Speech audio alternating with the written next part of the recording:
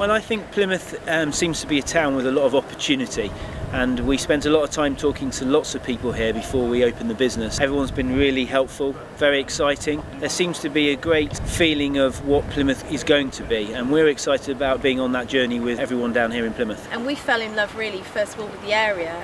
We felt that Plymouth offered a good kind of mixture of, of all things, so fantastic environment but great city to live nearby. It's a fantastic centre which is truly international in its flavour. It brings a tremendous sense uh, of identity to the whole of the peninsula of the southwest. Absolutely love Plymouth, vibrant, young city, so much happening, so much going on. We moved back from the Caribbean, my wife and I, with our children 15 years ago. Plymouth was a totally different place but in the last 15 years talking about a complete change. It's just a very interesting city with lots of challenges, lots of very good things about it, but also some areas which, which need to be improved. It's nice to be in an environment where you know your day-to-day -day job can actually make a difference to the future of the city. Okay, although we're a little bit remote, once we manage to attract people here to the city, they come to appreciate that the city is a great place to live and to also be able to work and bring up a family, we have good education, good schools, and also we have a very good developing further education system as well. Be given the opportunity to come and head up the National Marine Aquarium was fantastic. Plymouth's got a huge amount of potential.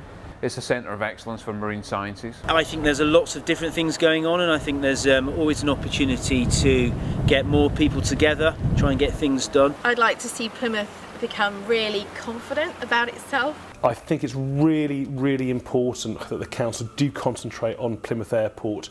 To be taken seriously as an economic centre, we need a local airport. The biggest and most important thing is sorting this issue of connectivity. We need to get improvements to the rail service happening through the uh, renewal of the Great Western franchise, better digital connectivity in for the city through the Digital Plymouth project. The recent loss of the airport has obviously come as a blow, so better communication links would definitely be of great benefit. We develop visitor plan which will help us promote the city and really develop its tourism potential. This is a sort of personal request really. I'm very excited about Plymouth. Somebody told me before I came here that Plymouth had the opportunity to be like Sydney Harbour. There's a fantastic opportunity for the waterfront of Plymouth all around and all the businesses to join up. So I hope there's a lot more investment and a lot more development on the waterfront. Connectivity is definitely the name of the game. And I think as a business, the opportunity is there to sort of move alongside that vision and just be part of everything.